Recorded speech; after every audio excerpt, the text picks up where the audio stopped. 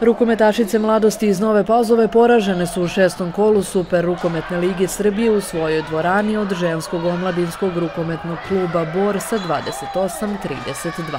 Dobar deo utakmice je bio izjednačen sa blagom prednošću Novopazovčanki. Međutim, u poslednjih 15 minuta meča gošće iz Bora preokreću stvar, sustižu i prestižu rukometašice mladosti koje ne uspevaju da uhvate priključak do kraja. Jako teško gostovanje za nas, Nismo otvorili lepo, nismo ispoštovali neke dogovore na samom startu, ali kasnije smo to popravile, dodale energiju i sam rezultat govori sve. Mi smo jako loše odigrali prvo polovreme u fazi odbrane, primili smo čak 18 golova od domaćina.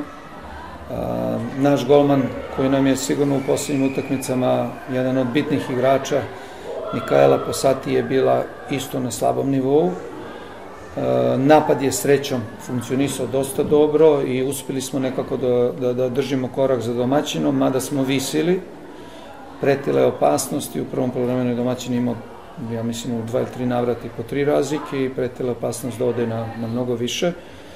U drugom polovremenu odbrana bila sasvim drugačija, golman se razbranio, to je jako bitna stvar, mislim da je to bila i prevaga ove utakmice. Iako su rukometačice mladosti imale nekoliko šansi za povratak u meč, loša realizacija, naročito u završnici, koštala ih je vrednih bodova.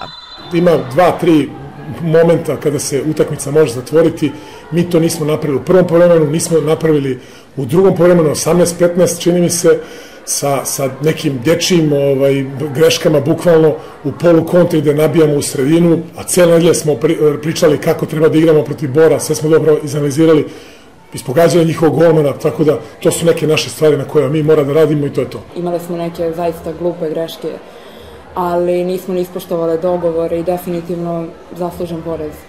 A, svakako imamo na mnogo stvari da radimo, da popravljamo za naredne utakmice i nadamo se da će biti bolje.